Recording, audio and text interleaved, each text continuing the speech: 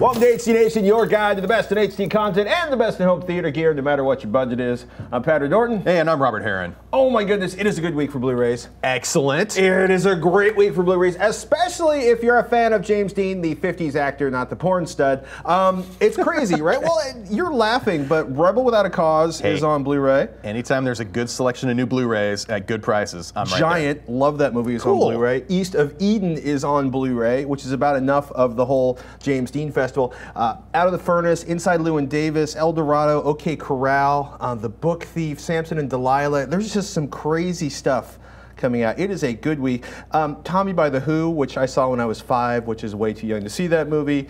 Um, Cowboys and Aliens, which has been out on Blu-ray and I don't ever want to see again. Good to know. There's just a lot going on this week. Oh, very cool. And by the way, next week, Frozen and American Hustle. Frozen. And Saving Mr. American Banks. Hustle. I might check that out. There's so much good stuff coming out. Excellent. Speaking of uh, good stuff that may or may not be coming out, we've been hearing rumors that Amazon will soon release a set-top box to compete with devices like the Roku, the Chromecast, and of course the Apple TV. GigaOM says the device will not only offer Amazon's instant video, but will also offer direct competitors like Netflix and Hulu Plus at launch. Notice they're not offering direct competitors like Google Play and Apple TV at launch. Yeah. Amazon's box is expected to be Android based, possibly support the dial protocol, the same tech behind the Chromecast, flinging from a second device experience. I am addicted to that whole second screen experience where you're just using your using your smart device or whatever, tablet Right. or phone, picking out what you want, getting it lined up, and then just having it right to the device right there. So very little interaction, but uh, uh, it's clean, it's elegant, and I love it. And with that, hey, You're an elegant man. Hey, Khalid seemed a bit excited when he tweeted to us, quote, next gen Blu-rays, exclamation point, exclamation point, Disc exclamation isn't dead, point. people! Whatever that was I just did, I'd like to apologize for. Uh, the GameSpot article he linked to highlights a Panasonic Sony venture that we've talked about a little bit before, but it's bringing something called the archival disc format to businesses by next summer. Yeah. Talking 2015 technology Haven't here. we been reading about this for like four years now?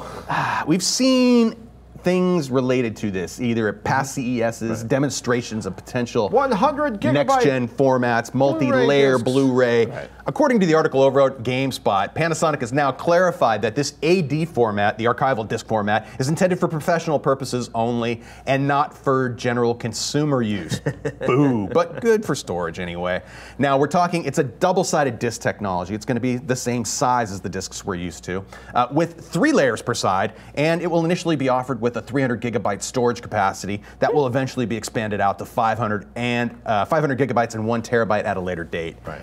That's a lot of data, and you're seeing more and more. At least I'm seeing more and more businesses using or going to optical for that long-term cold storage of, of mass amounts of data. Which usually is using okay as long as it's quality media and it doesn't deteriorate over time, which has been an issue with, with burnable CDs and burnable uh, uh, DVD discs in the past. I think though they've got a good lock on it.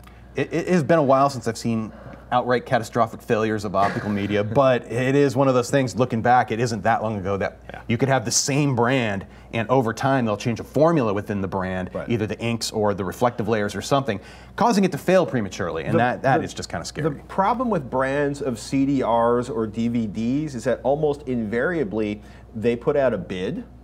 The bid gets answered. They choose the least expensive bid that fits their specs, and they wrap their label around it. Or the, the disc gets printed with their label, and then it wrapped with their label. It's very rare. There's a lot of brands that don't manufacture their own discs, or basically just buy whatever's available from the actual manufacturers. There's only a handful of manufacturers, as far as I'm concerned. Much like TV or LCD manufacturers, there's a few, but then they get spread around and rebranded to under whatever commercial brand you're used to seeing in the stores. So We'll talk about that in just a second. While we're talking tweets, I want to shout out props to vigilant viewer Andrew R, who sent us a link to Torrent Freaks. This write up U.S. courts orders seizure of DVD ripping software domains and funds. Um, so it turns out it's going to be a little bit harder to find DVD Fab decryptor software, at least from Fengtao Software's U.S. domain. So if I go to DVD Fab, DVD Fab has been making it exceptionally easy to transfer your DVDs and your Blu-rays that you own into just about any portable format or archival format that you need. And hence, gone. as soon as the government finds out, turn Okay. off your website. So here's what happened, right? So AACS, or the consortium behind the Advanced Access Content Systems, were really, really frustrated with the fact that DVD Fab was operating in the U.S. Here it is. The DVD Fab Group openly touts these illegal circumvention attributes of the DVD Fab software on the DVD Fab websites, advertising that, among other things, its software products remove all Blu-ray copy protections and can remove all known AACS copy protections. Um, you know, so they filed an injunction. Uh, Uh, you know, the really, that whole statement really depends on where you're standing in the world. Yes. And what the local laws say. Fengtao is a Chinese company. They ignored the injunction. The AACS group went the next step, which is to go to a judge and said, take their bank accounts, shut their websites down. And of course, literally within probably seconds, if not before, DVDFab.com went down. Boom! DVDFab.cn is launched. Hey, get your spring break on. with a big 25% off sale. Um, uh, you know, my response was dirt, but there's a reason. So, in the United States, the Digital Millennium Copyright Act says it is illegal to circumvent copy protection on anything, on Yeah. music, on movies, on television shows, on software, on operating systems. I'm pretty sure someone you know somewhere is going to argue that that my screws on back of my case are copy protection. They're not. I'm being silly but only by a little bit. Um, Barely. barely. If there's money to be made in litigation, you're screwed. yeah well it's really funny because in one sense right we want to operate we, we want to honor the people that, that generate intellectual property the content owners the creators. We want them to get paid because you know what? Freaking house of cards is amazing and i want the people that made house of cards to get paid. I mean they, they also give it away for free for nine bucks a month with a netflix subscription uh, netflix.com slash uh, HD really free, but but the, yeah, uh, the uh, netflix.com slash tekzilla but the uh, but Support the the thing show. that's so funny about this is it means you know if if i have a piece of proprietary hardware that requires software that is copy protected and the company goes out of business i'm violating the law if i want to crack that software and make it usable again if i want to repair things if i want to use the media i th- we think we've paid through the ass for our Blu-rays, and we want to distribute them around our home without paying $10,000 for one of Kaleidoscape systems. Wait a minute. People that spend a lot of money don't have to follow the laws the rest of us have to follow. This is true. Oh my goodness. In there any are case, options available to you. and I don't want to take anything away from. Kaleidoscape because their systems are really awesome. Their systems it's, rock. It's sad that you have to have the Blu-ray disc in the system to actually access the That's what Blu-ray the 300 on the disc server. changers are for. In any case, we both use any.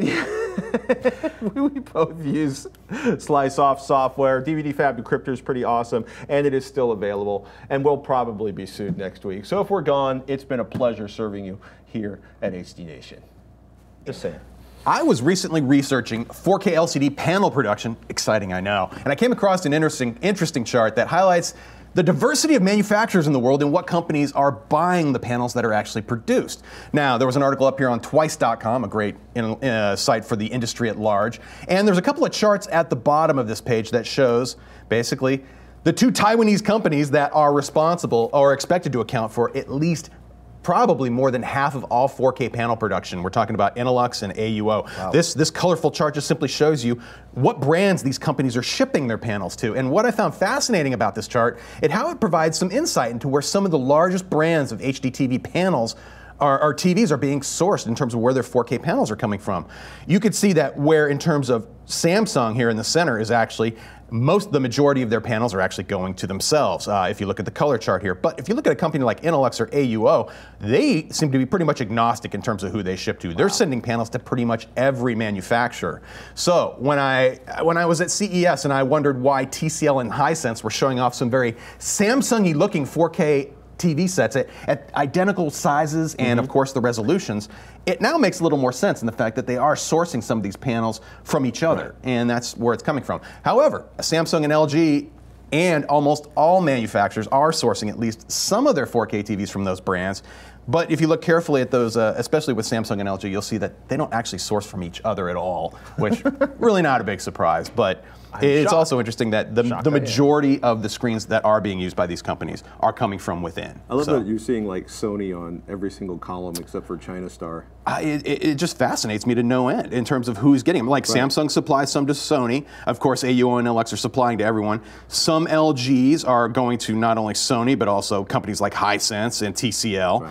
And of course, China Star's in there too. Some of those off brands, it gives you an idea of where the actual panel itself is coming from. And for that, it just it shows you the, the inner inner interrelationships between these companies in terms of how they how they make their TVs. And Vizio's not listed on there. There is a chance, though, when you're looking at a bunch of TVs at the exact same size and resolution, it may be, uh, when you're in the store, it Right. may be that those panels are actually all coming from the same manufacturer in terms of the panel, and then each manuf- each each reseller then Right. is actually putting their secret sauce in and final touches on it. And that's really important because the glass, you know, it's kind of like the sensor on the camera, the glass to a television. That's just part of the quality you get. The, the what's the basically the software that feeds the screen, the the firmware, the software, the, the the electronics that feed the screen are as important, if not more important, than the screen itself. Yeah, the overall engineering. It's, it's good to have people in the back end who know what they're doing mm-hmm. so that the signals get processed right. Right. You're getting the most you can out of that particular panel, one would hope. One would hope. Yeah. Yesterday, the display pros at DisplayMate tweeted, quote, the widespread press reports that the Sony Xperia Z2 triluminous LCDs have quantum dots are not correct. They don't. Follow-up email from DisplayMate's president, Ray Soneira, went a little bit further saying, while some models of Sony triluminous Bravia TVs have quantum dots, not all of them, none of the just announced Sony mobile Xperia smartphones and tablets have quantum dots. This ambiguity helps Sony and muddles the identity of quantum dots as a unique technology. Yeah. Uh, All that aside, i the big question is really okay, why are quantum dots so important? Right. And what the heck are they? In a word, why they're important is color. Quantum dots are an engineered material that emit a very pure and very precisely colored light. Generally speaking, the larger the particle, the redder the hues, the smaller the particles created, they'll skew toward blue. Uh, you're able to create these particles in any color you want. Last week, I showed you close-up pictures. Actually, I have one up right now uh, of an LCD screen, and you can see the individual subpixels: three, a, a green, a red, and a blue subpixel. Actually, literally colored pieces of plastic. These are are filtered uh, are filtering a white backlight system, and that is how then this light is actually generated to create the imagery we see on screen. And right next to it, I have some actual quantum dot material actually being illuminated or, or excited and giving off a variety of different colors. Just simply by varying the size of those particles of the quantum dot material, you're able to generate whatever color you need very precisely now. The LED backlights used in today's LCD TVs are bluish with ultraviolet mixed in with it. And these LEDs incorporate a yellow phosphor that produces an okay white light that's really not as color saturated as it should be. If you're going to be then filtering it with little plastic bits into red, blue, and green, you want extra saturated color to start with. Now, take those same blue UV LEDs and add some precisely tuned quantum dot material in the front, usually embedded in plastic, and it will generate well saturated and accurate greens and reds. And then you end up with a white light source that can deliver a more robust color palette. Now, some LCDs used to use, and still do today, some smaller displays still use RGB, red, blue, and green LEDs clustered together to achieve a similar goal in terms of terrific color saturation. But this is a really costly way to do it. Instead of having a single LED, maybe edge lit, you're having multiple LEDs grouped together in order to create that white light. And really, the bottom line is if we want LCDs to display more of the colors that we are capable of seeing, then LCDs need a better backlight system, a better white light in order to filter that out. Mm-hmm. And the QD materials are really one of the better looking things that are out there right now that are available today that could enhance this te- technology that we're all using in so many devices right now. And it apparently will be a little bit longer before things like OLED or the organic LED technologies take over. But to get to get more life out of these LCDs and to get better color, uh, it's going to be required. It's basically saying all of the screens can get better. Indeed, and, and and just to highlight what I'm talking about in terms of color palette, I have just a quick chart here just to show that with a traditional white LED, this dashed line represents the colors that are are mathematically possible within HDTV. This is what everything encodes within that triangle. However, the, the the colored part is actually showing what the TV is capable of, and in particular, if you can extend green out closer to where it should be, you color you cover more of that available uh, color space that's defined within the HDTV spec. And in a sense, you end up with a TV that can give you a more realistic picture and better better represent what the video is trying to show you. Is that information that cameras can already record, or will we need to sort of update the sensors on the camera to be able to get the information to the TV at the other end of it? I would say most of today's cameras, I would even assume a lot of today's consumer camcorders are capable of recording beyond HD quality. Some of the very high end cameras, like Sony uses in their video production, their F65 in particular, is touted as being one of the widest color capturing cameras currently available. And it goes far beyond what the HD spec is, but for things like movie production, where you're not limited by this color, this color palette is not used anywhere else uh, except for television, usually. Uh, in movies, you have Right. an unlimited color palette, as much color as that can be captured and transferred to the digital process. And for that, it's a good thing. It's just the way we're going to make LCDs better. And this is one way to do it that doesn't dramatically increase costs. A good thing. Hey, you want to learn more about color spaces when it comes to color grading, video production, learn kind of how things get made pretty? Check out lynda.com slash hdnation. They're our sponsor. And learn the skills you need to get ahead. lynda.com slash hdnation for a free seven-day trial. 2,400 courses up there, including some incredible stuff on video, video editing. Video, video, video, editing. I don't think they have any video editing, but video, Video. editing. Lynda.com That's slash where you're hdnation. in the middle of clicking something. It's like, oh, stop. Oh.